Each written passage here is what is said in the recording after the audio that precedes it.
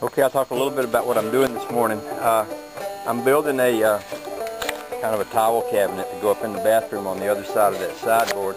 I started out with an old, uh, this used to be a, a headboard for a bed and uh, had these pieces that went on up on either side of it. Uh, and I cut it in half, brought it together, put a, a piece of 2-by on the back side of it, and then I cut this piece. This is going to be the floor of my cabinet. This is going to sit like that, and then these are going to sit like this, and this will be what the uh, the cabinet sits on. Uh, and then I'll build it up from there. I'm going to bolt that part together, take it upstairs, put it in place, and then I'll show you as we go along. Okay, I've got this bolted together, and this is going to be the foundation. I'm basically going to build my cabinet on top of that. I figured out a long time ago that it's better if you can build a cabinet in place.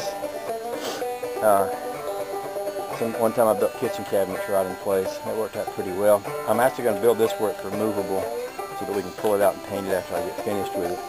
And I'm just going to take it upstairs now and fit it and then uh, go from here. Okay, that's the basis for my cabinet sitting back right here. Baby actually wants this to come right up against the side of here. So what I'm going to do is I'm going to come up with a straight piece. I'm going to put a shelf there.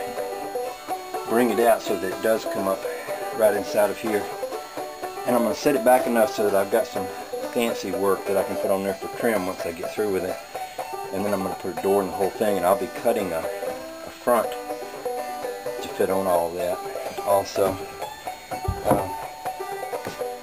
I think that'll work out just fine.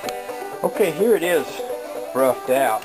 Uh, I've got this nice little piece of oak that I'm going to use in the front of here uh, to go in the front of that. And I'm going to make me a, a front for this thing, probably out of some oak, and then build a door that opens this way.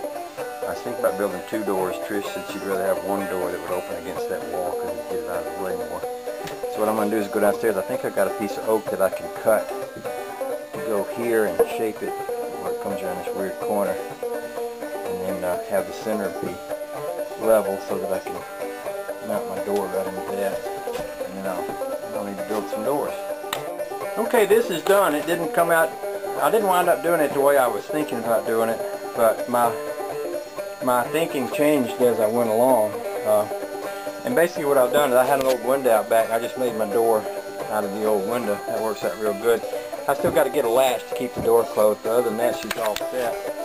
Um, this is all made where I can pull it out. It looks, it fits in there so snug. It looks kind of almost like it's made in there, but it's not. It just is actually fit in there very snugly. Uh, I had to do a little fancy work around down here that came out just fine. And uh, once this gets where it'll close, and we get a coat of paint on it all, it'll look good. And I also put a little oak strip right here on the front of this plywood. And uh, we were just talking about doing something where those front of those plywood boards show just to smooth them around, make them not look so plywoody. But I'm going to pull this out. Trish is going to paint it while I go to town. Uh, so I guess that's the next thing to do is pop that thing out of there. But I did want to show off my uh, fancy shelf work for today. Y'all have a nice day. I just thought I'd do one more shot of it now that it's painted up. Trish is still painting the door, so I hadn't put the door back on there yet. But as soon as she does, uh, we'll get the door back on it. And uh, I think it's looking good.